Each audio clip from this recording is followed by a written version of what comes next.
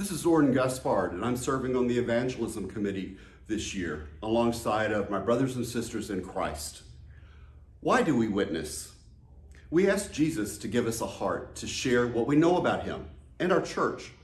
It's fun and rewarding. Why do we witness? Each of us, every one of us, is called to share our story, our unique and personal relationship with Jesus.